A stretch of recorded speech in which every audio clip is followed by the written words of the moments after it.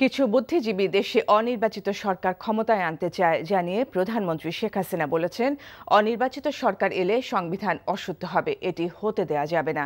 বিত্তশালীদের আরাম আয়েসের জন্য গ্যাস বিদ্যুতে ভর্তুকি না রাখতে কিছু সংস্কার করা হচ্ছে জানিয়ে তিনি আরও বলেন, সাধারণ মানুষের জন্য কৃষি ও খাদ্যে ভর্তুকি থাকবে। বুধবার অমর একুশে বইমেলা উদ্বোধনকালে তিনি এসব কথা বলেন। নজরানা চৌধুরীর রিপোর্ট।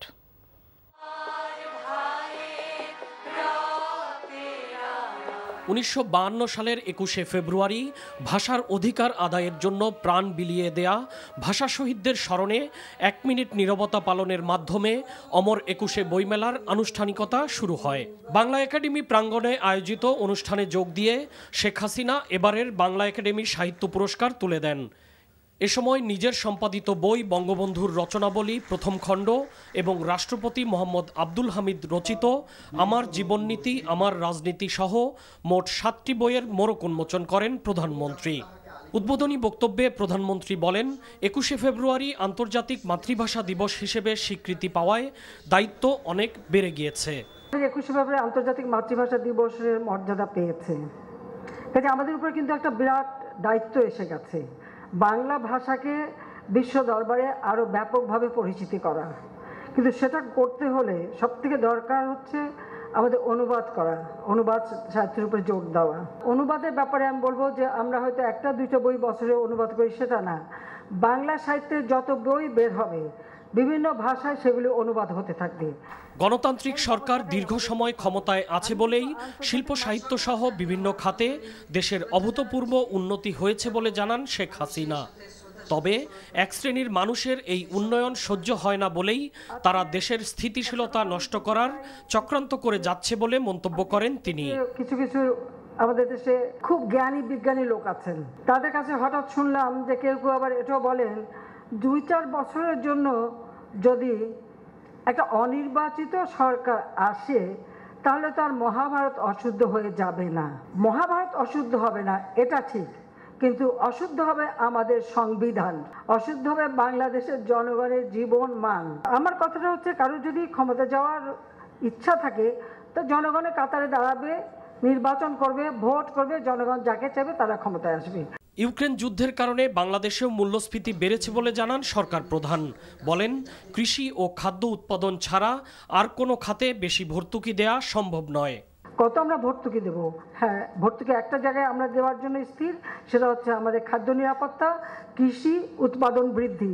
কিন্তু আমাকে যে দামে গ্যাস কিনতে হবে বা উত্তোলন করতে হবে, যে দামে বিদ্যুৎ উৎপাদন করতে হবে আমি যদি সেই দাম না পাই, তো এখানে ভর্তুকি দেবো, এই ভর্তুকিতে লাভ কাদের? বিত্তশালীদের আরাম আয়েসে ভর্তুকি দেবো আর দেশের মানুষ কষ্ট পাবে, এটা তো হয় না।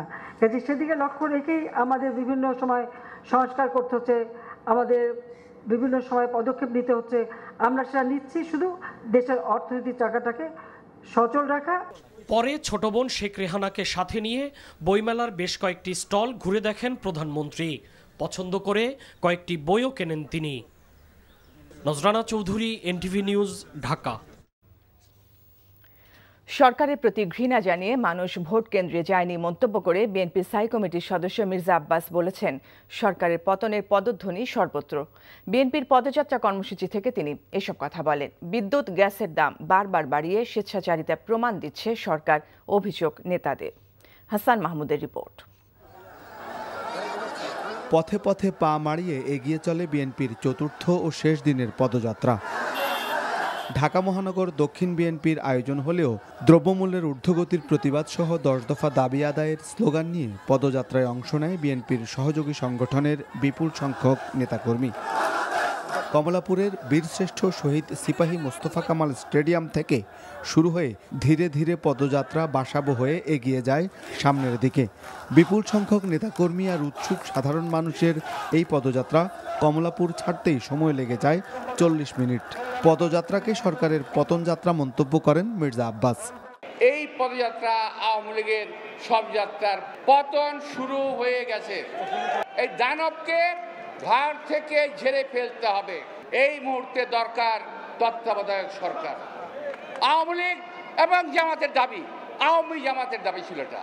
আওয়ামী জামাত, ওনারা বলেন বিএনপি জামাত। আরে বিএনপি জামাত না, আওয়ামী জামাত। ওদের দাবি। ওনাদের মুখের কথা কোনো ঠিক নাই। বক্তারা বলেন, জনগণ এ সরকারকে যে প্রত্যাখ্যান করেছে, তার প্রমাণ মিলেছে ছয়টি সংসদীয় আসনের উপনির্বাচনে ভোটারদের অনুপস্থিতি। সকাল থেকে ভোট কেন্দ্রে ভোটার নাই। মিডিয়ায় প্রচার হচ্ছে, একটি কেন্দ্রে তিন, চারটি কুকুর ঘুমিয়ে আছে। আল্লাহ বাঁচাইছে যে কুত্তার ভোট দেওয়ার অধিকার নাই। কোনো ভোটার যাচ্ছে না। পুলিশ নাকি মাইকিং করতেছে, ভোটার ডাকতেছে। আমি, আমার জীবনে শুনি নাই ভাই। এরকম সেরা কৌতুক। উনি বলছে, ভোট চোরের বিচার হবে, আর ভোট চোরদের আপনারা আর ভোট দিয়েন না। আমরা আল্লাহর কাছে দোয়া করি। আল্লাহ তার এই কথা কবুল করো। সবুজবাগ খিলগাঁও হয়ে বিএনপির পদযাত্রা যখন মালিবাগ পৌঁছে তখন সময় গড়ায় এক ঘন্টারও বেশি। অনেকটা শান্তিপূর্ণভাবে বিএনপি তাদের চারটি পদযাত্রা সম্পন্ন করল ঢাকা মহানগরে। এমন নতুন নতুন কর্মসূচি নিয়ে আবারও মাঠে থাকতে চায় দলটি। আর এর মধ্য দিয়েই তারা চূড়ান্ত পতনের আন্দোলনে সফল হবেন বলে মনে করছেন নেতারা। Hasan Mahmud NTV news Dhaka. সরকার ভয় পায়নি, ভয় পেয়েছে বিএনপি, এমন মন্তব্য করে আওয়ামী লীগ সাধারণ সম্পাদক বলেছেন, তাদের পৃথিবী ক্রমে সংকুচিত হয়ে যাচ্ছে, সামনে আরও ছোট হয়ে যাবে। শান্তিপূর্ণ উপনির্বাচন হয়েছে দাবি করে ওবায়দুল কাদের বলেন, সংসদ থেকে পদত্যাগ করে কত বড় ভুল করেছে বিএনপি, সময় যত যাবে বুঝতে পারবে দলটি। বুধবার রাজধানীর যাত্রাবাড়ি চৌরাস্তা মোড়ে আওয়ামী লীগের শান্তির সমাবেশে তিনি এসব কথা বলেন। আরও জানাচ্ছেন মুকসিমুল হাসান। সন্ত্রাস, সহিংসতা এবং ষড়যন্ত্রের প্রতিবাদে ঢাকা মহানগর দক্ষিণ আওয়ামী লীগের শান্তি সমাবেশে দলের সাধারণ সম্পাদক বলেন যে ছয়টি আসন থেকে বিএনপির এমপিরা পদত্যাগ করেছিলেন, সবগুলোতে সুষ্ঠু এবং শান্তিপূর্ণভাবে ভোট গ্রহণ হয়েছে। একই সঙ্গে বিএনপির রাজনীতির কড়া সমালোচনা করেন ওবায়দুল কাদের। কে জিতলো, কে এটা আমাদের বিষয়, মূল বিষয় নয়। এই নির্বাচনের মধ্য দিয়ে আবারও গণতন্ত্রের বিজয় হল। বকুল সাহেব, ছয়টি সিট আপনাদের ছিল। পার্লামেন্ট থেকে পদত্যাগ করে কত বড় ভুল করেছেন, এটা যতই দিন যাবে ততই অনুধাবন করতে পারবে এ সময় বিএনপির আন্দোলনের কর্মসূচি প্রসঙ্গে আওয়ামী লীগ সাধারণ সম্পাদক দাবি করেন, দলটি বিক্ষোভ আন্দোলনের হুঙ্কার দিলেও এখন তা নীরব কর্মসূচিতে পরিণত হয়েছে। আপনারা সরকারের পতন গণ অভ্যুত্থান লাল কার্ড থেকে এখন কেন অন্তিম পদযাত্রায় নামলেন, সেটাই জিজ্ঞাসার বিষয়। তাহলে ভয় পেল কে? ভয় পেয়েছে বিএনপি কর্মসূচি এখন কেবলই নরম হচ্ছে। ফখরুল সাহেব, আপনাদের পৃথিবী ক্রমেই ছোট হয়ে আসছে। এই পৃথিবী আরও ছোট হয়ে যাবে। সরকারের পায়ের নিচের মাটি সরে গেছে। বিএনপি নেতাদের এমন বক্তব্যের জবাবে দলটিকে আগামী নির্বাচনে অংশ নিয়ে জনপ্রিয়তা যাচাইয়ের পরামর্শ দেন ওবায়দুল কাদের। আর ওই নির্বাচনকে ফাইনাল খেলা আখ্যা দিয়ে দলকে বিজয় করতে এখন থেকে প্রস্তুতি নিতে নেতাকর্মীদের নির্দেশনা দেন আওয়ামী লীগ সাধারণ সম্পাদক। Muksimul Hasan, NTV news, Dhaka.